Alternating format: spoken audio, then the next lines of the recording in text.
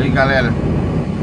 8 horas da manhã Estamos quase em São Luís do Maranhão Falta 200 km Mas esse vídeozinho vai mostrar as condições da, da rodovia pra vocês. Tá péssima Lá de Peritoró Pra cá muitos buracos Movimento grande. Os carros desviando dos buracos Os carretos desviando dos buracos de qualquer jeito. São panelões enormes como vocês podem ver aí, ó. Tem que estar tá fazendo manobra, não há condição de fazer desenvolver velocidade. Isso aí prejudica muita carga, prejudica muito o caminhão, possibilidade de quebrar. São vários buracos, então é terrível. Hoje é dia, dia 3 de, do 6 de 2015. Aqui acho que é 135, não sei, não sei que rodovia que é isso aqui, porque não tem sinalização, não tem nada. Ondulações, buracos, péssima sinalização, é, completamente abandonada, movimento intenso de caminhões, motos, carros e sem nenhum tipo de segurança, nenhum tipo de fiscalização, nenhum sinal de obra, nada, absolutamente nada, completamente abandonada a Deus dará. Os impostos altíssimos, é, IPV altíssimo, tudo caríssimo. E a, essas rodovias federais do Nordeste dão um lixo. É muito abandono. Sendo um pedacinho assim, que está mais ou menos, daqui a pouco você encontra é, muitos buracos, desvio, sem sinalização, tá tudo sem roçaio, rote, sem nada, nada, nada. É um carreiro, um largado. De qualquer jeito funcionando, o pessoal desviando pelo acostamento, pela contramão, para tirar sair dos buracos. É muito triste, terrível. Péssimas condições. Você não a carga mexe muito em cima, porque você tem que estar tá desviando o buraco. Ah, tem lugares que não tem como desviar, você passa daquele balanço na carreta inteira. É... Péssimo mesmo. Dizer, não, mas tem rodovias pior. Claro que tem, é óbvio. Tô falando dessa.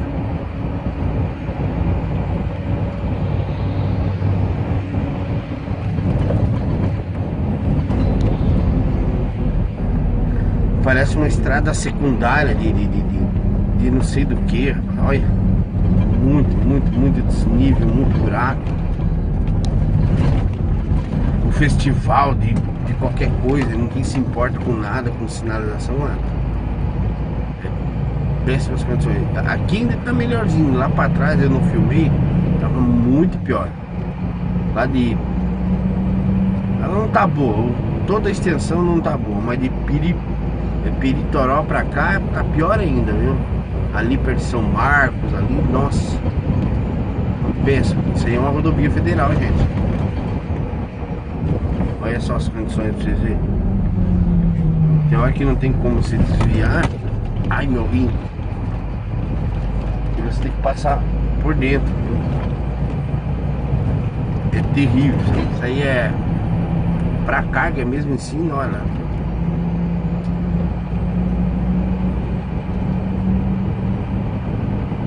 Um descaso. Aonde vai tanto imposto, né? Vai pagar o IPVA de um caminhão, gente? Vai. Pra vocês verem quanto que é caro. Vai pagar o IPVA de um bitrem aí. Esses. Por que que não pedagiam pra cá também, né? Já que fazem pedágio por tudo. Olha só asfalto totalmente desmanchado. É, às vezes fazem, ó, vocês podem fazer alguns, alguns remendos, mas é, é, inútil. É questão de dias já está aberto o buraco de novo, com muita condensação por baixo do asfalto. Um trecho muito ruim, muito ruim. E tem alternativa, né? A alternativa que tem é pior que aqui.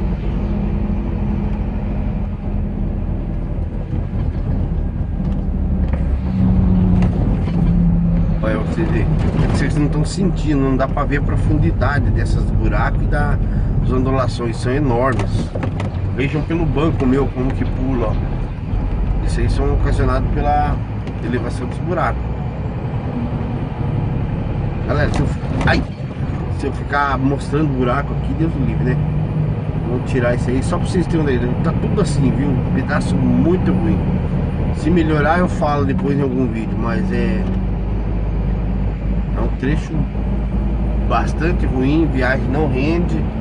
Às vezes a pessoa fica comentando, poxa, mas você rodou 500, 600 km durante o dia.